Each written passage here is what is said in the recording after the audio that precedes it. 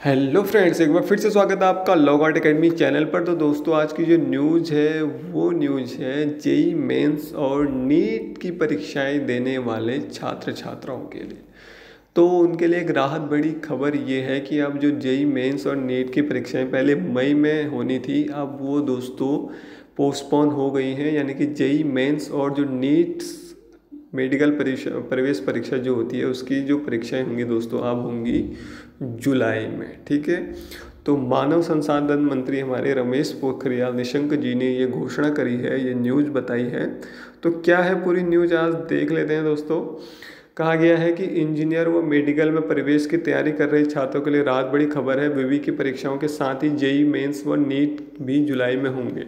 तो जैसा कि मैंने आपको बताया कि जितने भी विश्वविद्यालय हैं, उनकी परीक्षाएँ भी जुलाई में होंगी, उन्हीं के साथ साथ बीच में ही जेई मेंस व नीट की परीक्षाएँ भी होंगी। जेई मेंस 18 से 23 जुलाई तक, जबकि नीट 26 जुलाई को होगी। तो ऐसा कहा गया है कि जो जेई मेंस है तो जे ई ई की जो परीक्षा है, वो होगी दोस्तों 18 से 23 जुलाई के बीच।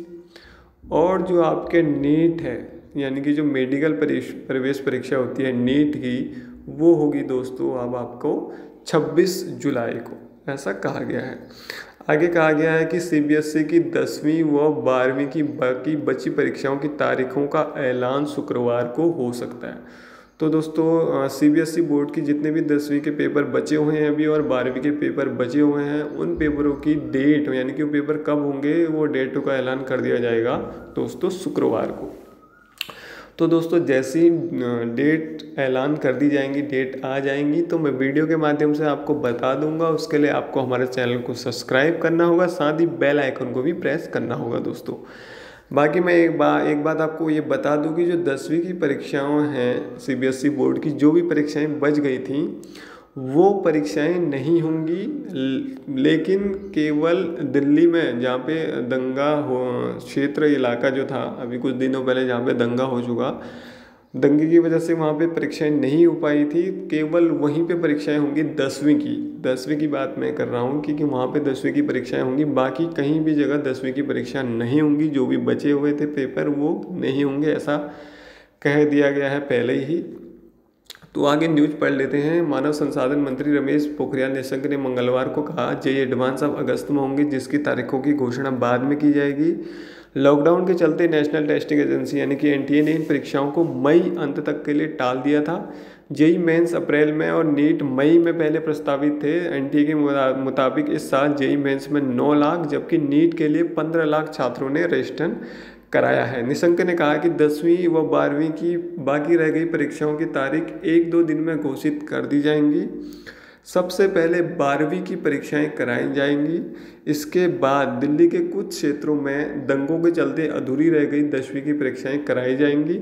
इस क्षेत्र के अलावा दसवीं की कोई परीक्षाएँ नहीं होगी। जैसे कि मैंने आपको बता दिया कि दसवीं की परीक्षाएँ और कहीं नहीं होंगी, केवल दिल्ली के इस दंगे प्रभावी क्षेत्र में ही दसवीं की परीक्षाएँ होंगी।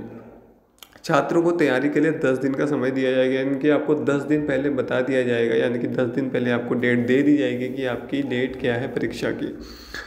परीक्षाएँ खत्म होने के दो तीन दिन में उत्तर पुस्तिकाओं की मूल्यांकन का काम शुरू हो जाएगा। परीक्षा खत्म होने के दो दो हफ़्ते के भीतर रिज़ल्ट घोषित करने की तैयारी है। ठीक है दोस्तों तो जुलाई में अगर एग्ज़ाम होते हैं तो अगस्त में मे बी आपका रिज़ल्ट आ जाए ठीक है? जो भी बोर्ड परीक्षाएँ दे रहे हैं सीबीएसई बोर्ड का जो भी है तो अगस्त में आपके रिज़ल्ट आने की संभावना है और जुलाई में आपकी सारी परीक्षाएँ हो जाएँगी। तो दोस्तों यही न्यूज़ थी आज की ठीक है? कि जेई मेंस और नेट की जो परीक्षाएँ हैं वो जुलाई में होंगी।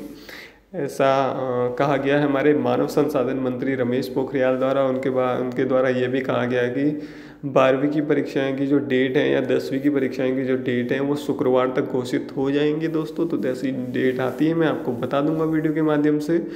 तो दोस्तों, उसके लिए आपको चैनल को सब्सक्राइब करना होगा, साथ ही बेल आइकन को भी प्रेस करना ना भूलिएगा दोस्तों। धन्यवाद।